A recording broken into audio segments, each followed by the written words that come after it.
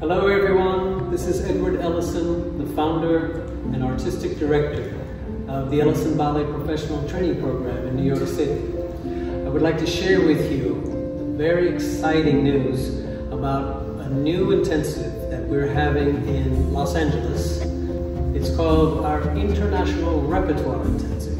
We have principal dancers from major companies coming from different styles.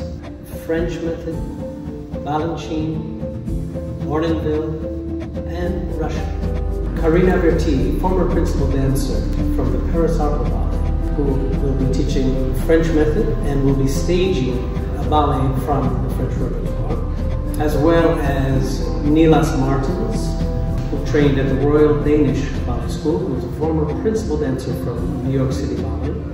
He will be in charge of the Bournonville repertoire. And we have Zippora Karz, former soloist from New York City Ballet, will be in charge of the Balanchine repertoire. As well, there'll be a faculty member from Ellison Ballet who will be working in the Russian method. So, I invite you all to look into auditioning for this very exciting program, and I hope to see you all there. Thank you.